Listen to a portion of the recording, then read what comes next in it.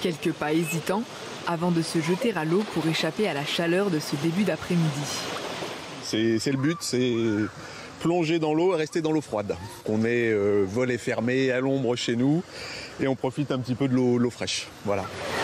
Le département du Rhône a été placé en vigilance orange canicule par Météo France qui prévoyait un mercure à 40 degrés aujourd'hui à Lyon.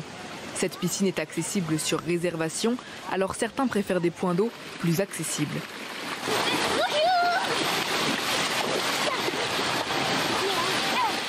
À défaut de se baigner, sur ce chantier, les ouvriers qui travaillent à l'extérieur se sont adaptés. Les journées, on essaye de commencer un petit peu plus tôt. Ça va, on a de quoi boire, on est euh, un peu à l'ombre. Donc euh, non, ça se passe bien. C'est un petit peu dur, mais bon, on fait avec, on a l'habitude. Plus qu'une journée encore à tenir, les températures devraient se rapprocher des normales de saison d'ici la fin de semaine.